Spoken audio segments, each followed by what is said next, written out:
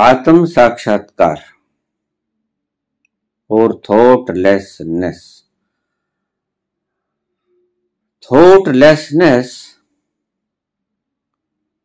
is the way to enlightenment विचार शून्यता आत्म साक्षात्कार का पहला कदम है। विचार शून्यता के बिना। आत्म साक्षात्कार होना कठिन है। असंभव है।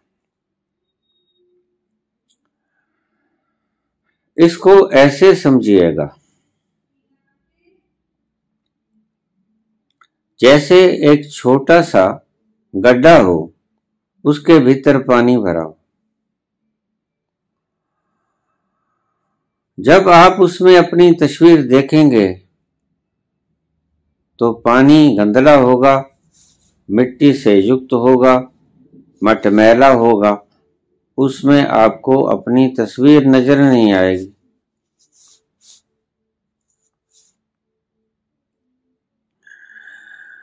फिर उस गड्ढे के ऊपर से कोई साइकिल लेके चला जाएगा। तो वो पानी हिल जाएगा। अगर थोड़ी देर कोई ना आया तो वो मिट्टी नीचे बैठनी शुरू हो जाएगी। लेकिन फिर थोड़ी देर बाद कोई कार वाला आ गया, कोई स्कूटर वाला आ गया, कोई और व्हीकल आ गया।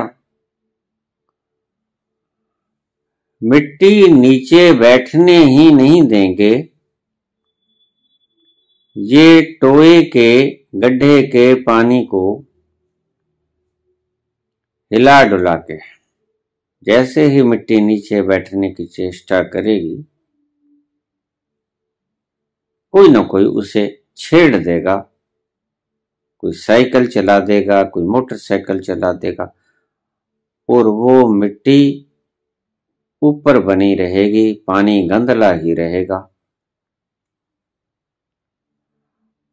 उस गड्ढे के पानी को साफ़ करने के लिए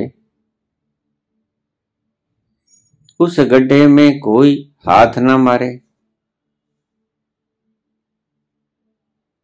शांत रहे वो गड्ढा तो धीरे धीरे अगर कोई उससे छेड़छाड़ ना करे तो वो गंदा पानी नीचे बैठना शुरू हो जाएगा मिट्टी। जब मिट्टी सारी बैठ गई नीचे तो आप पाओगे कि वह पानी साफ़ हो गया और उसमें आपकी तस्वीर नज़र आनी शुरू हो जाएगी।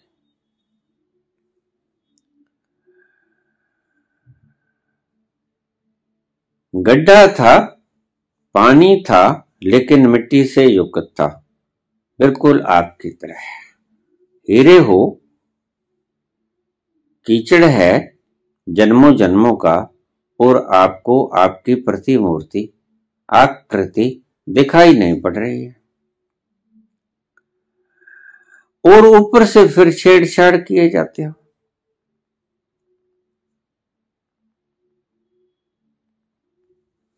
वो मिट्टी और ज़्यादा तहें बनाती रहती है और परत ज़्यादा मोटी होती रहती है। गड्ढे का पानी जब कोई छेड़छाड़ न करेगा, नीचे बैठ जाएगा। ऐसे ही अगर तुम कुछ न करोगे, ध्यान की अवस्था में आराम से बैठ जाओगे, आनंददायक अवस्था में शरीर को कष्ट दिए बिना सुख आसन में बैठ जाओगे। तो वो मिट्टी नीचे बैठनी शुरू हो जाएगी और आपका गड्ढे का पानी, यानी के मन, आपकी मिट्टी नीचे बैठनी शुरू हो जाएगी और पानी शुद्ध होता चला जाएगा, निर्मल होता चला जाएगा। जैसे झील का पानी, फिर वो थोटलेसनेस की प्रक्रिया आती है जब सारी मिट्टी नीचे बैठ जाती है। और उस पानी में आपकी तस्वीर नज़र आना शुरू हो जाती है। लेकिन यहाँ काम खत्म नहीं होता। फिर और आप बैठे रहते हो और वो मिट्टी और नीचे बैठती रहती है क्योंकि मिट्टी बहुत है। बहुत जन्मों का कीचड़ जमा है आपके हीरे के ऊपर। और नीचे और नीचे, और फिर तुम झील बन जाओगे, मौन। शांत। थोटलेसनेस मौन। मौन की अवस्था में आपके मन की मिट्टी नीचे बैठती। है इसीलिए तो मैंने कहा कि कुछ ना करो, जो पीछे आपने पैडल चलाए, उस पैडल की शक्ति के साथ कुछ दूर तक साइकिल चलेगी, फिर स्वतः ही घर जाएगी। आप उस मन के विचारों की तरफ़ ध्यान ही मत देना। कब आए, कब गए। लेकिन वो मिट्टी नीचे बैठती बैठती बैठती, एक अवस्था आएगी कि आप झील के पानी की तरह हो जाओगे।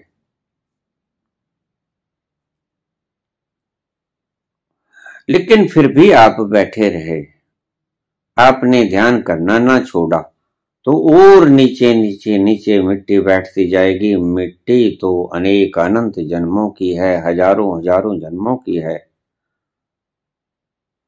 फिर एक वक्त ऐसा आएगा जब बिल्कुल ही आप कुछ भी ना करोगे, शून्य की अवस्था में पहुँच जाओगे तो आप क्या बन जाओगे? दर्पण, मिरर। और जिस दिन आप मिरर बन गए, जिस दिन आप पॉलिश किए हुए शीशे बन गए, उस दिन आप को अपनी शक्ल, अपना होना दिख जाएगा। इंफॉर्मेशन नहीं कह रहा हूँ मैं नॉलेज कह रहा हूँ मैं, दर्शन कह रहा हूँ। कोई बता दे, शास्त्र बता दे, गुरु बता दे, उससे मत मानना। हाँ उसकी राह पे ज़रूर चलना। लेकिन उसके दर्शन को तब मानना जब आपको दर्शन हो जाए। गुरु गोविंद दोनों खड़े। काके लागू पान। जब आप दोनों को देख लो कि ये गुरु बताने वाला खड़ा है और जिसके बारे में बताया था वो सामने खड़ा है, दोनों खड़े हैं। और ये अवस्था आएगी थॉटलेसनेस से। इसके लिए आत्म साक्षात्कार के लिए थॉटलेसनेस आवश्यक है, ज़रूरी है। इसके बिना आप आत्म साक्षात्कार न कर पाओगे, इसीलिए पहले होना पड़ेगा थॉटलेसनेस और उसका लगातार लगातार उसका चलना थोटलेसनेस का आपको पहुँचा देगा आत्म साक्षात्कार तक। आप बन जाओगे। मिरर और मिरर से फिर सुपीरियर मिरर फिर सुपीरियस्ट मिरर फिर एक वक्त ऐसा आएगा जबकि आप ऐसे शीशे बन जाओगे कि आप शीशे में अपनी पूरी होना देख पाओगे जरा भी विकृति ना होगी उसके भीतर। आपको, आपका खुद का साक्षात्कार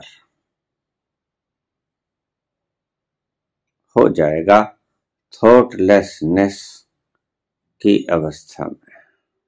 शुरू होकर जैसे जैसे आप थॉटलेसनेस की अवस्था में निरंतरता लेके आओगे निरंतरता बननी शुरू हो जाएगी। तो आप एक दिन उस मकाम पे पहुँच जाओगे नो दाय सेल्फ।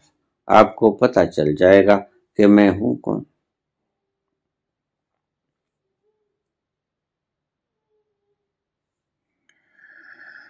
और मैं हूँ कौन? यह आत्म साक्षात्कार है। होता है थॉटलेसनेस। सो आपने प्रयास पहले करना है कि विचार शून्य था। घबराइए मत। रोज मेरे पास प्रश्न आते हैं, बाबा। ये मन बहुत तंग करता है। ये बंदर की तरह उछल कूद मचा ही रखता है। इसको कैसे काबू करें? कैसे मारें इसको? नहीं नहीं, मारना नहीं है इसको। इसको मारना नहीं है। इसका स्वभाव है।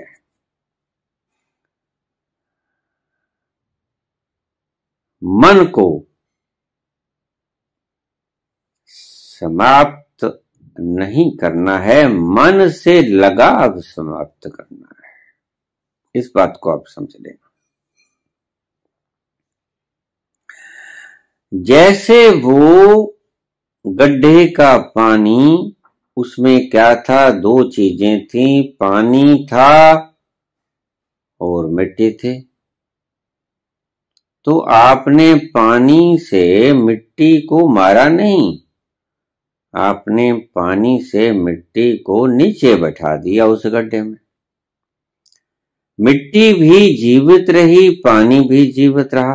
पानी से मिट्टी को अलग कर दिया। मिट्टी को मारना नहीं है। मन को मारना नहीं है। मन को गड्ढे के गंदले पानी के समान पानी को स्वच्छ करना है और मिट्टी को पानी से अलग कर देना है। यही प्रोसेस है।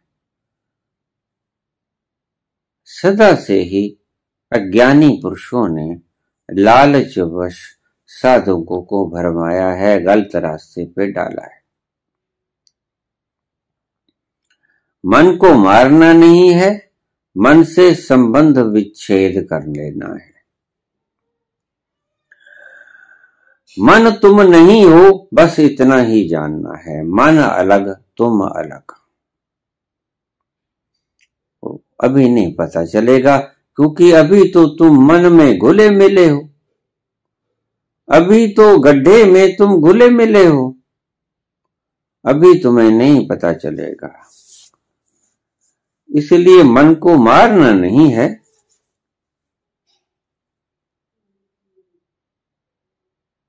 मिट्टी को पानी से अलग करके देखना है कि मन अलग है, मिट्टी अलग है। अभी तो मिट्टी पानी को अपना स्वरूप ही नज़र आती है, क्योंकि पानी में मिट्टी घुल मिल गई है। ये अज्ञानता तुम्हारा ही रूप बन गई है। ये मिट्टी तुम्हारा ही स्वरूप बन के तुम्हें छल रही है। माया महाठगनी हम जाने। एक शब्द कहा गुरु गोरखनाथ ने। माया तो ठगनी भई, ठगत फिरत सब देश।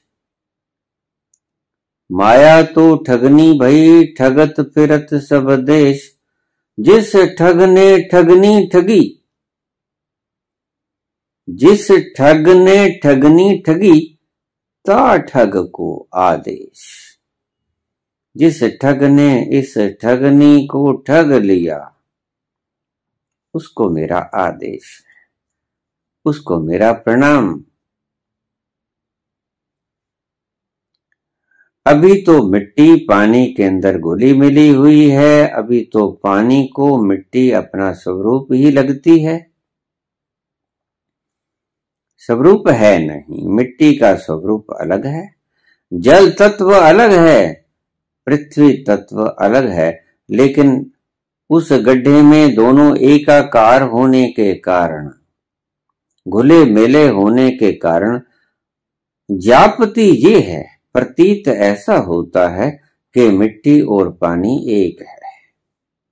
तो तुम कभी कहते हो कि इंद्रिया में हूँ, मन में हूँ, शरीर में हूँ, बुद्धि में हूँ, मस्तिष्क में हूँ, ये सारे इंस्ट्रूमेंट्स में हूँ हाथ में हूँ, पाँव में हूँ, सोचना में हूँ, हृदय में हूँ, जिगर में हूँ, फेफड़ा में हूँ, तुम कहते हो सब कुछ मैं हूँ। ठीक भी कहते हो, क्योंकि तुम्हें इस वक्त अज्ञान की अवस्था में ऐसा ही तो प्रतीत होता है। हमने क्या करना है? हमने साधना के द्वारा मिट्टी को पानी से अलग कर देना है। पानी पानी है। तुम ब्रह्म हो, तुम परमात्मा हो, मिट्टी मिट्टी है, मिट्टी जड़ है। शरीर इंद्रियाँ जड़ हैं, मन जड़ है, मन तुम्हारी ऊर्जा से काम करता है। तुम्हारी ऊर्जा के बिना वो जड़ है जैसे इलेक्ट्रिक इंजन रेलवे का इंजन बिना ईंधन से, बिना इलेक्ट्रिसिटी से, बिना कोयले से चल नहीं पाता। ऐसे ही ऊर्जा से बिना जैसे कोई वहकल नहीं चल सकता, वैसे ही ऊर्जा के बिना तुम्हारा मन नहीं चल सकता। मन जड़ है, बुद्धि जड़ है, इंद्रिय जड़ है, शरीर जड़ है लेकिन तुम ब्रह्म स्वरूप तुमने मिट्टी से जल को अलग कर देना है, जो तुम यकसा समझे बैठे हो कि मैं मिट्टी हूँ, जबकि हो नहीं। करोगे कैसे? क्या राम राम जपोगे?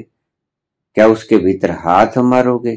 क्या उसको हिलाओ डलाओगे? क्या उसको डिस्टर्ब करोगे? कभी उसके भीतर से साइकिल चला दोगे? कभी मोटरसाइकिल चला दोगे? यही तुम कर रहे हो। उस गड्ढे के भीतर से कभी तुम राम राम राम राम राम राम करना शुरू कर देते हो। वो हलचल है। वो उसके मौन को, स्थिरता को भंग करती है। और मिट्टी फिर ऊपर आ जाती है। कभी तुम कीर्तन करते हो, सत्संग करते हो, जाप करते हो, पाठ करते हो, सुमरण करते हो, सब कुछ उपाय करते हो, आपाधापी।